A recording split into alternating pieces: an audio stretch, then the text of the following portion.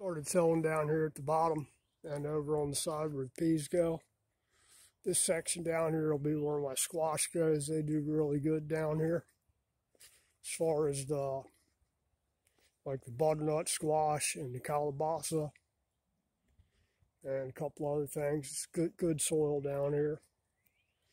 And typically this soil over here is pretty crappy on this side. Doesn't test well it's a lot of, lot of stones in it. So this is normally where I put field peas at or cow peas. They do really good over here.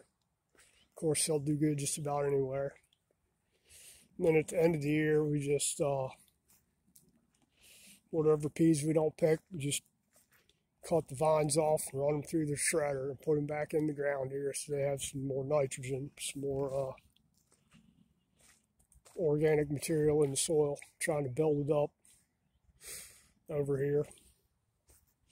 And then this section over here is where the uh,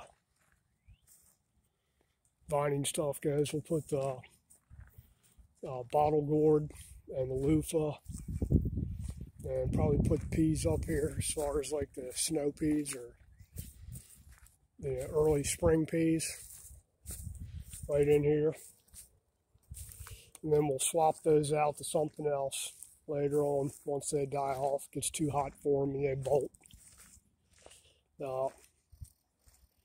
This side over here,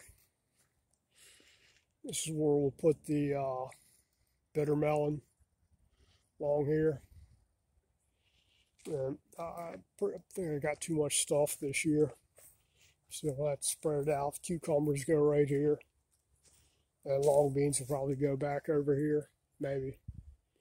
This is all opened up, what we feel like putting where eventually. That's our little uh, compost pile there.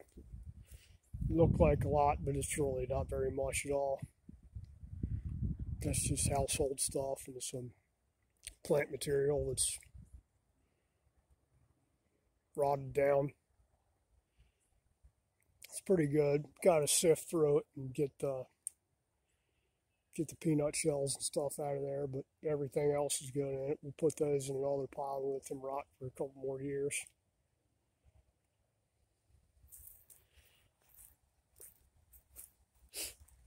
All right, that's it for this one.